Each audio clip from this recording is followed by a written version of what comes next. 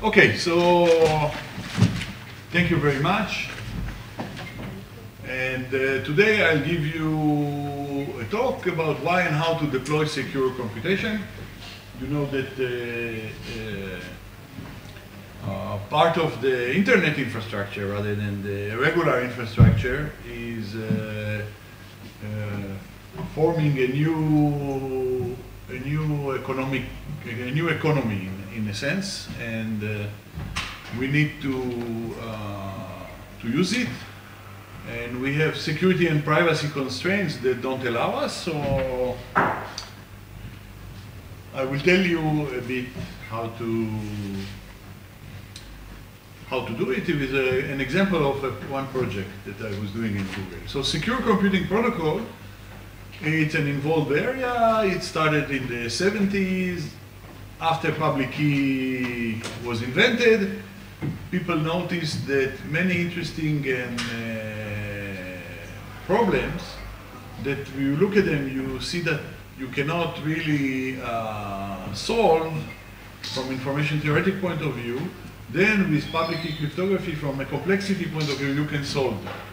So it became very rich area of research in cryptography. It's essentially theoretical area, very surprising results, like you can play mental poker over the net, you can uh, flip a coin over the net, and, and, and uh, you can do many things. And, and and really, uh, it started with like simple protocols like mental poker protocol 1979, and then there was uh, another mental poker protocol in 82, and then uh, uh, oblivious transfer.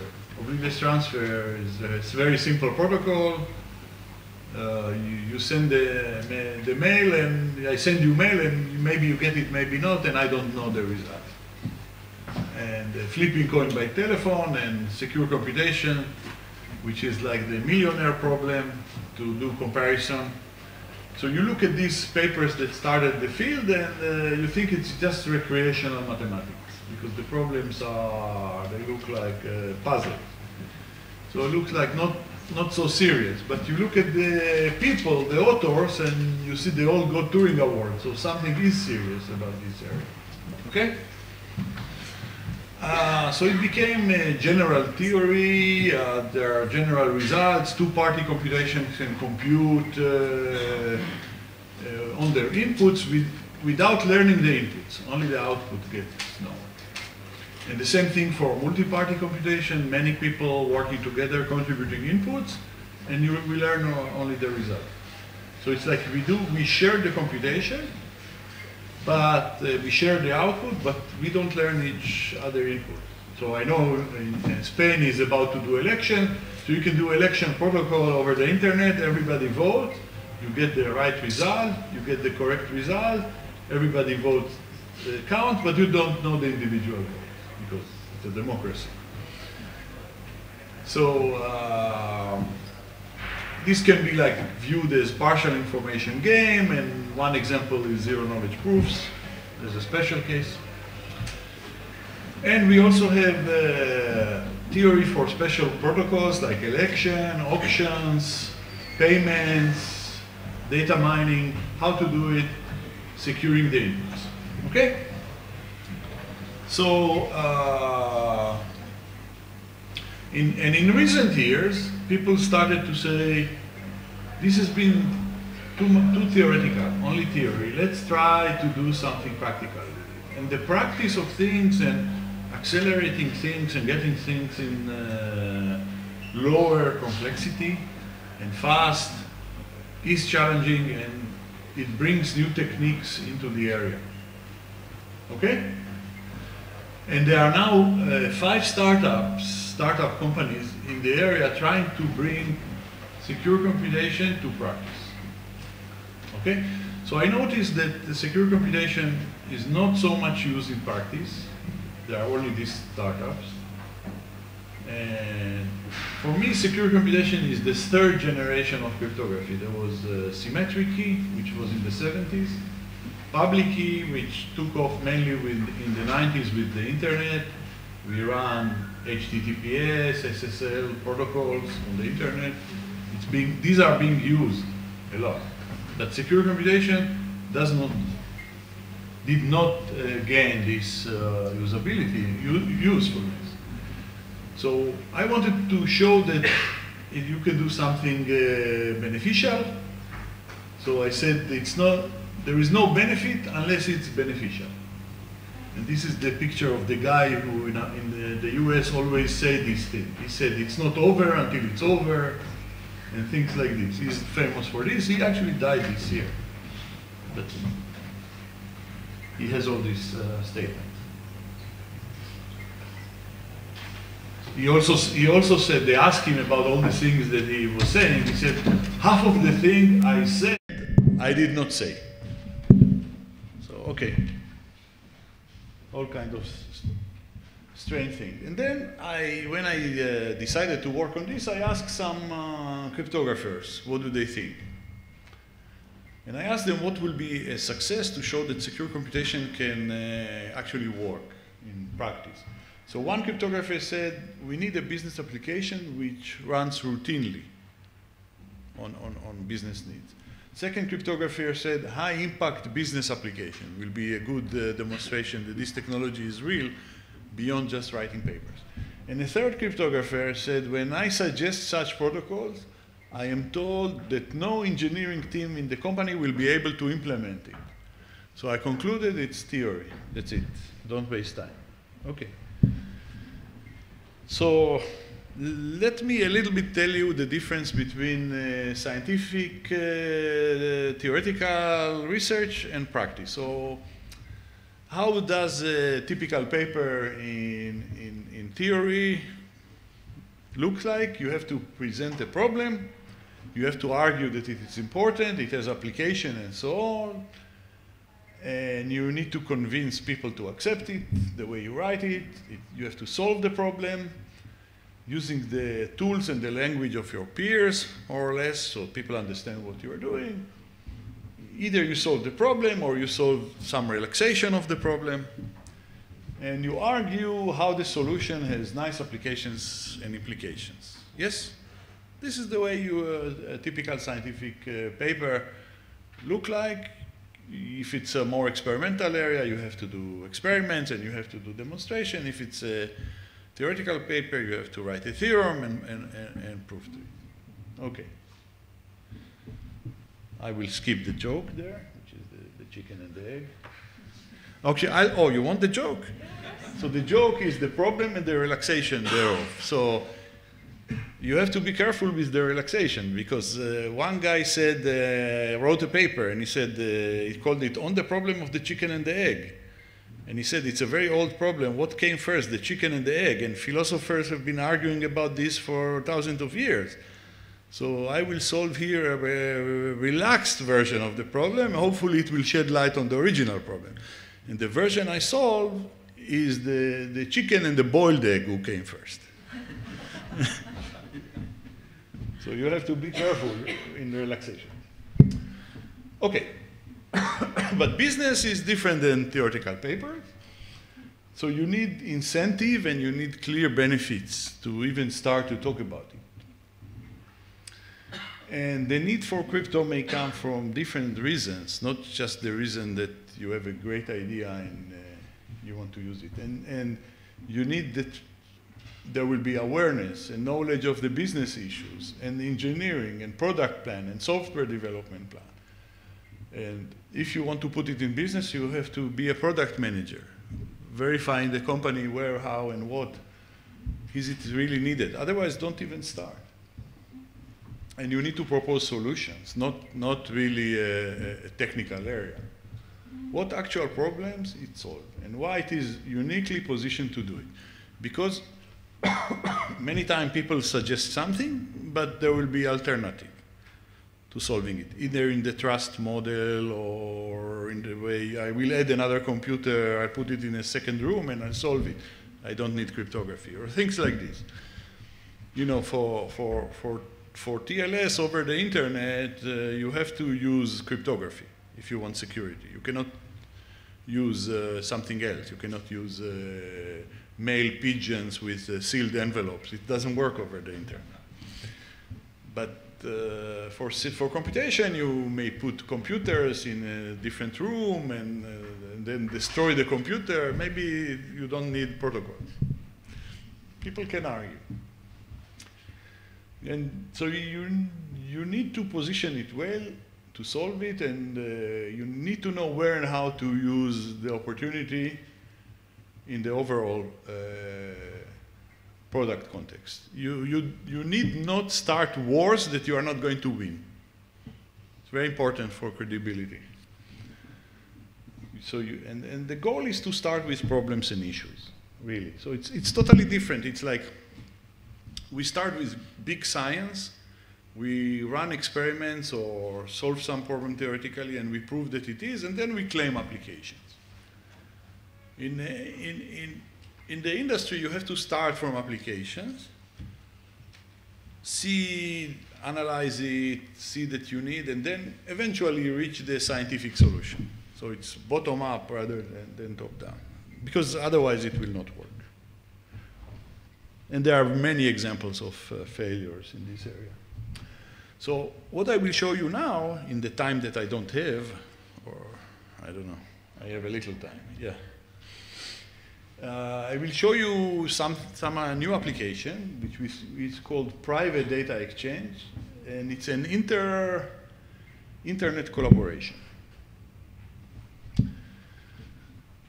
So the first thing is where to deploy. So secure computations are heavy. They require uh, overhead because you need to encrypt, you need to communicate, you need to compute. It's, it costs more than computing on clear data, of course.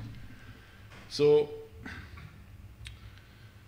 offline computation that is important and critical to the company is a good way to start, not something that runs online. So imagine if I came to, to Google and I said, let's, instead of doing search from users, let's do encrypted search.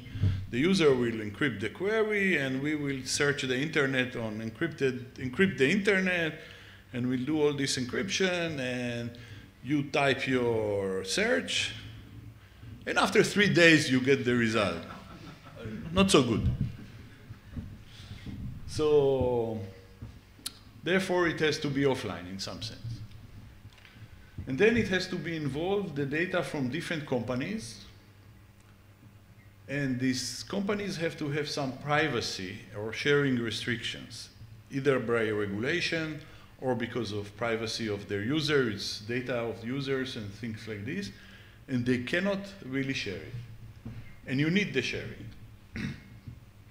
and you also have to be in a position that all alternatives of doing it can be easily dismissed, rejected. And then you can try even to think, this is even before thinking about what cryptography I'm going to use. I have to find a situation that is important, is people need it, and, uh, and uh, has this characteristic. And originally, I found about this problem in a talk of the chairman of the company that there's a big problem because blah, blah, blah, blah. Uh, so we designed concrete implementation system to solve the, the problems, the, pro the following problem. So there is a content provider, let's call it G, and it has information about users, what they view. And there is a, a second uh, party called transaction provider or merchant M. It has a spend value of users. Who paid what and how much? Who, which users paid and how much? And there is a way for G and M to agree on the names of, of those users. And the goal is to discover the spend value for a set of users of G per merchant, per M, to assess the correlation of viewing versus spending. Because G has viewing information and M has spending information. So we, we want to let G know how much is the spend value of all the people that we're viewing and the number of spenders, let's say.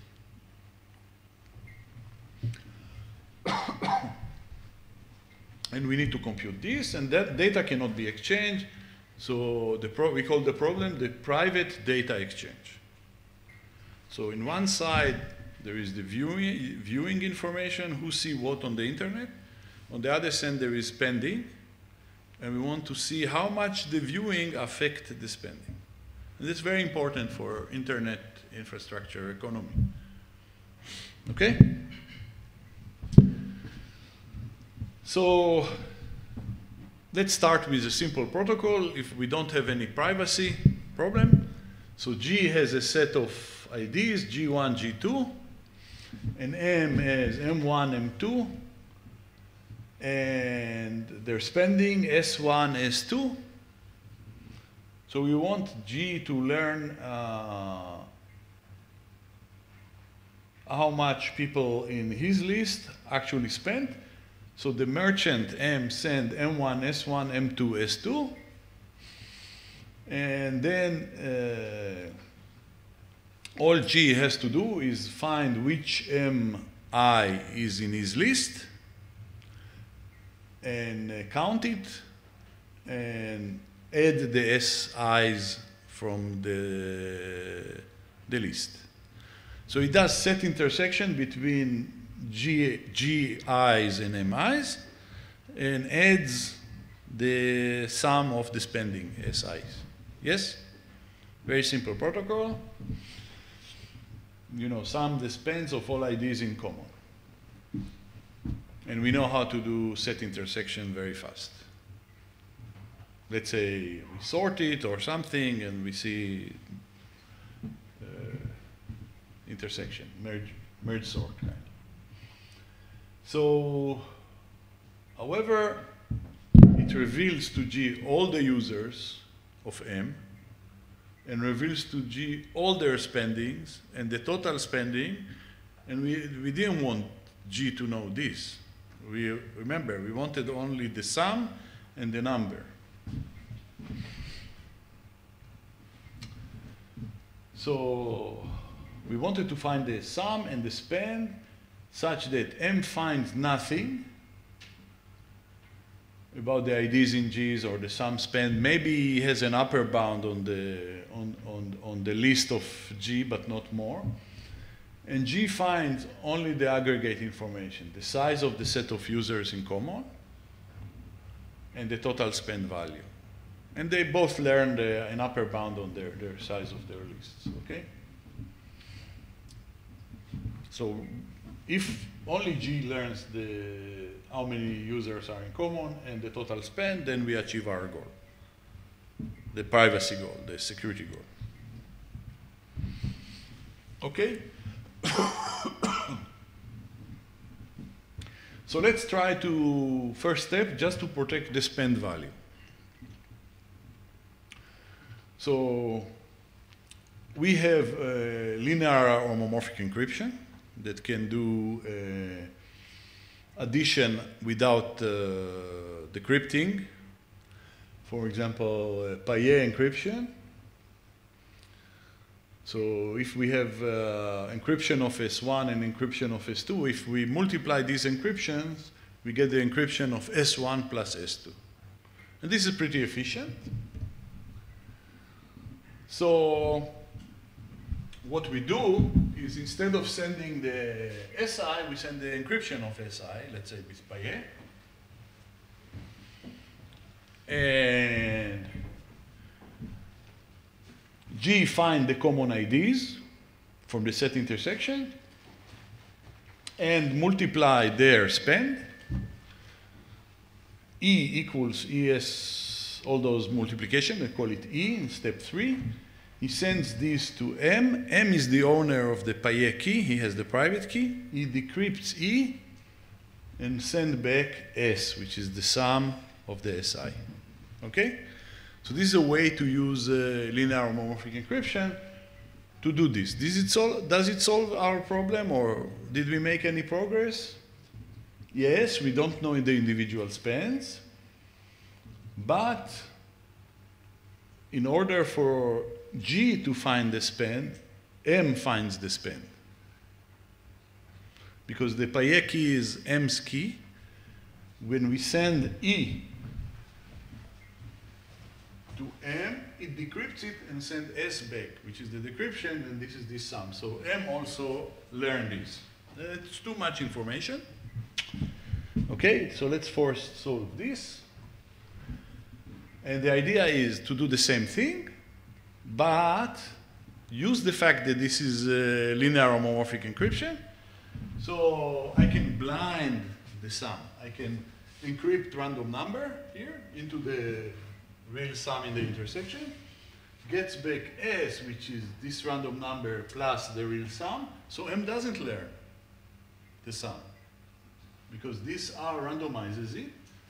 And this side G, who chose R, this is public key encryption. So here I choose R, I encrypt, and I multiply. I get back S. I can take S minus R. This is the real sum. So we solve that problem. So there is a blinded sum. It's very simple, relatively simple operation that we can do to find the, uh, the result. So this just solves how to deal with the span.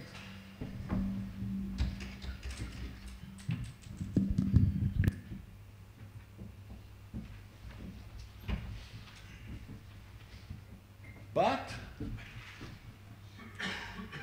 it reveals all the IDs of the merchants, M, M, M1, M2, and so on, to G. And that's too much. We have to solve this.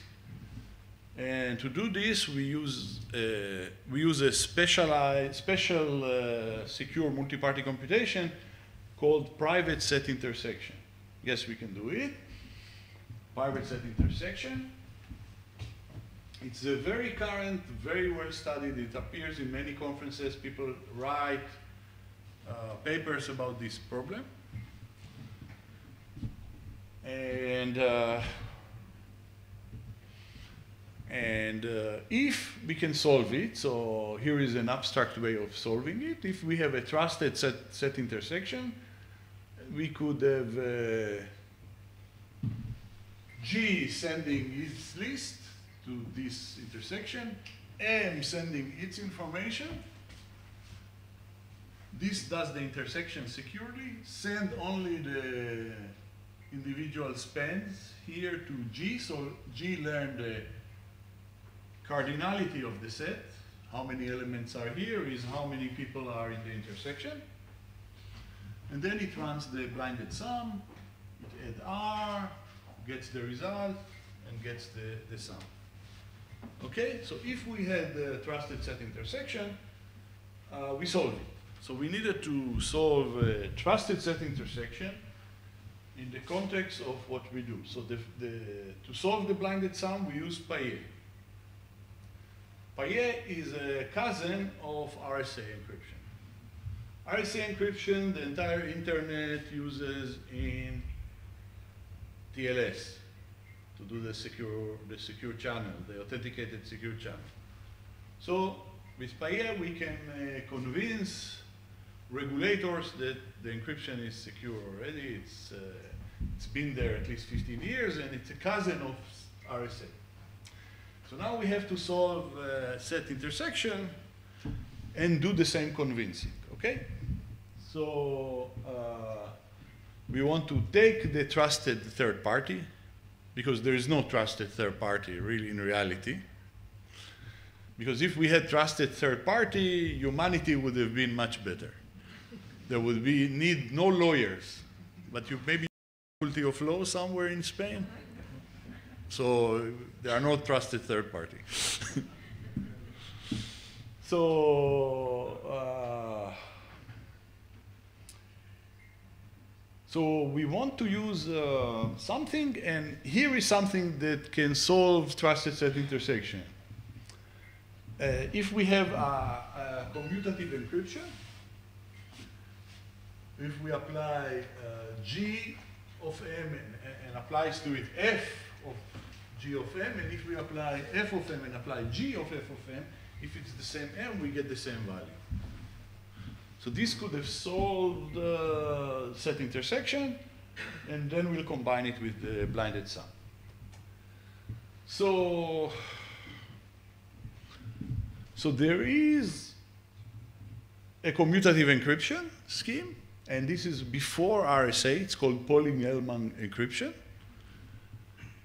F of m is m to the e1 mod p, p a prime, so it's RSA modulo a prime with a fixed exponent. And the other guy have G, which is E2 mod P in the same, in the same group. and of course, M to the E1 to the E2 equals M to the E2 E1 because it's exponentiation. It doesn't, doesn't matter how you do. And this is from 76. Haven't been used in system. In 80, Shamir has a paper that says, ah, we have commutativity here if we have two Pohlig-Hellmans. Nowadays, of course, we can do, uh, so these were presented before even we needed to prove that crypto systems are secure. 76, you know, it's the prehistory of modern cryptography. Uh, nowadays, we can also do it over elliptic curve groups with more efficiency and, and, and smaller space and uh, and uh, we will use it not as an encryption, but as a commutative joint hash of the two parties. We never do decryption. Okay? And uh, the, the decryption, so uh, Pohlig-Hellman used it for decryption, and the exponent was shared between the receiver and the sender because it's a private key system. And if you know E, you can find E inverse modulo phi of P because P is a prime.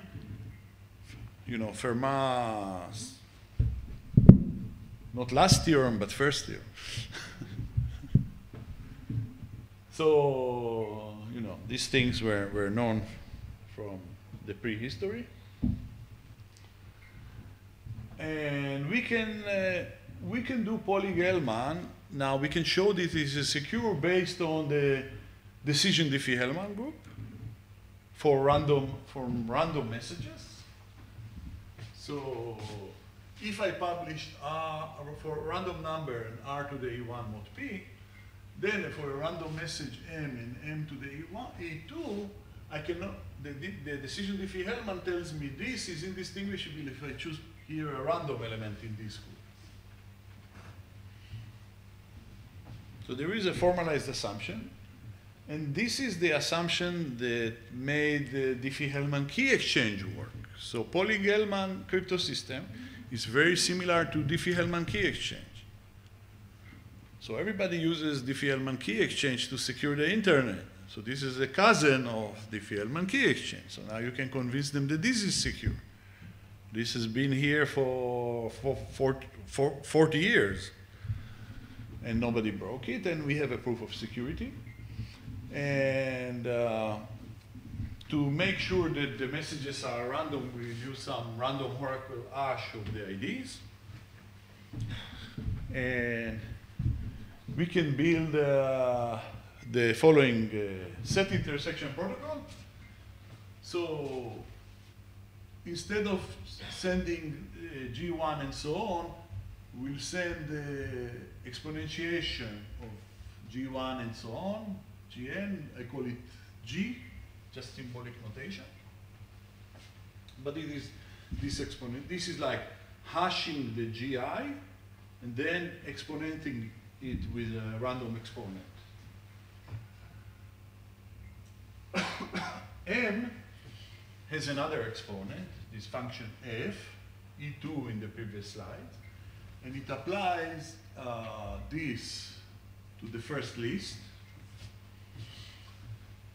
and also randomizes the order of the list, permuting. So here, when I get back the list, double encrypted list, I don't know which element is which. Even though originally it's G1 and G2 are G's element, he doesn't know which one is in this list. M also apply the, his exponentiation to his own list. Okay? So G can take his function G, applies it to the list of the elements from M, and uh, then he finds the blinded uh, intersection. So he, he, he sees how many elements in this list equal elements in this list. Because of the permutation, he doesn't know the actual uh, membership. So we learn just the size of the intersection list. Because this is permuted. In applications that we want him to learn who are the elements in the set, we don't permute the list. And that's very nice to have, how do you say it? Un tiro dos pájaros? so we can do set intersection and size of set intersection in the same uh, method. And that's the comment that we can also do set intersection. So, so now we just combine the two protocols. So we have uh, we have G encrypt, get double encryption of his list, randomized, and encryption of the other list, double encrypts the other list, find the intersection, take the spans which are sent together with the elements of, of M with Paillier, take them, multiply them, choose this R, encrypt it in, send, get back, and find the span. All I claim now, and of course there is a proof based on decision Diffie-Hellman and Paillier security, all G learn is this sum S, and of course the size of the intersection. And G and M learns nothing. Of course, it learns the sizes of the, they, they share the sizes of, of the lists. Actually, an upper bound on the sizes of the list because you can always add some dummy random IDs and zero spending as you want. Okay? But this was allowed in the game. So this is, uh, and, and if you see each each element, each, each uh, side encrypted uh, for each group element twice. The original, the first encryption can be done offline to your list, not in the, during the time of the protocol. So the Paillier encryption and the, the first uh, exponentiation can be done offline and we can accelerate it. But uh, essentially linear number of, of, of, encryption in the sizes of, of the two lists. So it's uh, relatively doable. Uh, it's, not, uh, it's not trivial because these lists are not small, but, but we can do it. And uh, we can find out something that we could not find before. And we had to convince the partners that it is okay, so we use relatively old encryption tools. It's you know, in, in, a, in a scientific paper, if you send it to a top conference and you use something from 30 years, they may say, ah, it's not fashionable anymore. because they are running fast. Uh, they are using, you know, there, there is a trend in cryptography to use unverified assumptions now. Yeah? I call it unicornography.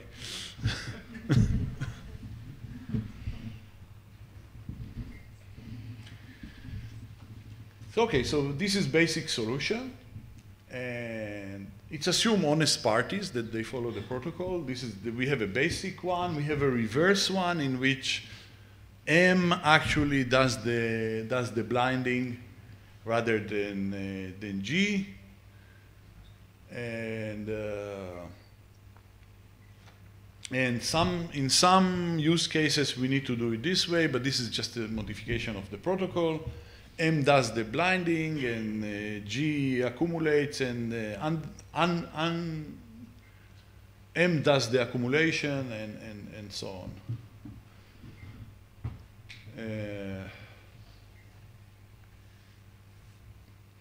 by the way, in some application you may want more than just this. Uh, you, so this gives you the average of spending. If you want standard deviation and, uh, and other higher moments in statistics, you can do it by encrypting this. For example, for standard deviation, if you also encrypt with Paillier the squares of the elements, you know that uh, from sum of sum of the squares and the and the and square of the sums, you can exactly get the the standard deviation. So if it's needed, we can do extra calculations for this. Okay, so we can solve it. Uh, uh, we can uh, add other solution, robustness, to, to make sure that uh, the, the other side follows the protocol. If, so of course, these are two businesses, they have contracts. Some people we believe will follow the protocol, but if they don't, then there is a way to, to enforce it cryptographically. And uh, there's a lot of optimization.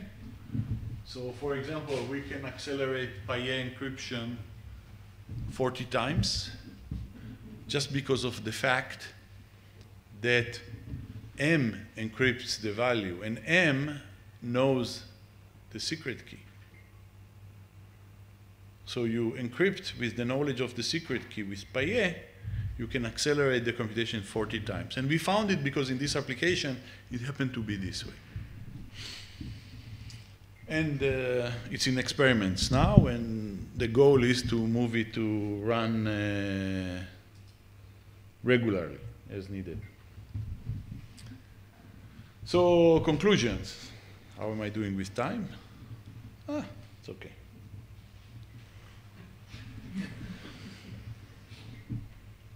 So if you think about business like uh, the deal with a lot of data, cryptography is the anti-data. So people don't understand it and they want everything to be not secure, but you know, they have privacy. But you show them that they can actually use it and it can enable them more processing and more analysis, and that, that's good.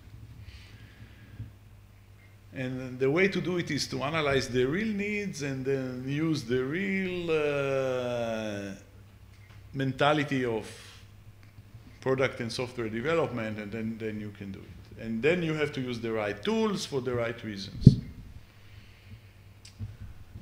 And uh, crypto in engineering. So, well, what we can learn from this. So there is no fixed recipe for this, just general principles and results. Uh, it's uh, like in systems paper, but it's much less structured than in crypto papers. And business adaptation is, is, is challenging. It required the right interpretation of the theory. You cannot use the theory as is. You, you need to really understand what to use from the theory. The theory takes you up to some point, and then you have to use other means attack, attack models, risk management, and incentives and liabilities are a big part of, of understanding what can be done or what cannot be done. Still, secure components and proofs and uh, in theory it matters. For example, we didn't want to use we, we didn't want to use any encryption that is just heuristics without proof of security in some sense and something that is not there at least 10 years and people really uh, uh, trust it in some sense. You know, those, those encryption systems are not in OpenSSL and other standard cryptographic packages. We had to develop our own, so, but you have to make sure that, that, that it's there.